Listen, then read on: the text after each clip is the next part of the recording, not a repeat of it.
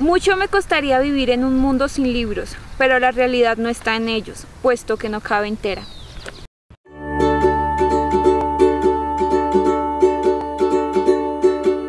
Hola, soy Valeria y en este video vamos a hablar de Memorias de Adriano. Este libro está catalogado entre los mejores 100 libros de la historia. Entonces usted tiene que leerlo, por favor vaya y léalo y no vea este video porque le va a hacer mucho spoiler, ¿ok?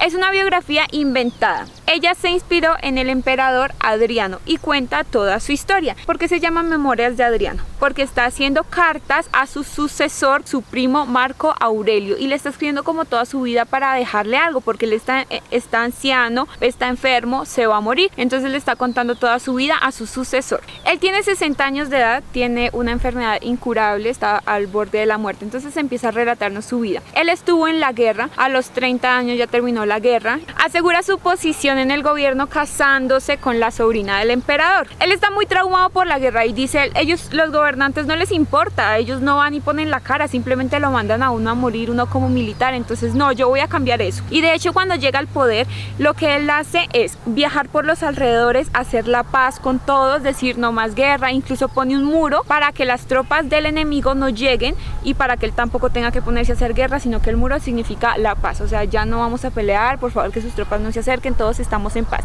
Y es lo que él dice, las personas debemos vivir en paz, con felicidad, en armonía, es lo que él promueve durante su gobierno. Él le llama a esta época tan linda porque es una época de paz, ya no hay más guerra, todo el mundo está feliz, él es un buen gobernante y le llama la edad de oro, según él. En esta época, él conoce a un joven se llama Antonius. Él está enamorado de este joven, tiene un amorío con él, él tiene su esposa, pero es mero compromiso social, lo hizo por su puesto, por su cargo, pero él está enamorado de este chico y lo ama tanto y como Adriano tiene distintas creencias de dioses y no sé qué y cultos, el chico hace un sacrificio, se muere, se ahoga solo por hacerle sacrificio. Entonces Adriano lo toma como de, oh no, mi amado ha muerto, le voy a dedicar una ciudad. ¿Quién pudiera dedicarte una ciudad si mueres, no? Le dedica monumentos, le dedica de todo él ya es anciano, ya empieza a estar enojado por todo, pues imagínate, tu amado se murió, entonces ya estás viejo, ya dices, ya, ya aquí ya me llegó el tren, él ya se acerca a alguien a hablarle es agresivo, incluso ha dejado a una mujer ciega porque es agresivo en un arrebato, entonces ya está muy de mal humor. Y él dice, no, ya aquí ya terminó mi tiempo, ya no estoy para estos cargos, me quiero morir, me voy a Stradicius. Y él está así, ya luego dice, no, pues ya me resigno porque la enfermedad me va a matar, entonces no va a tener que Stradicius. Entonces estas son las cartas que él va enviando. Te dicen mucho, si quieres saber de la historia de Roma, lee este libro. ¿Por qué? Porque pues relata muy bien las ciudades, la época, la historia, los gobernantes, o sea, te da algo muy detallado de la historia, pero la novela. El verdadero lugar del nacimiento es aquel donde por primera vez nos miramos con una mirada inteligente.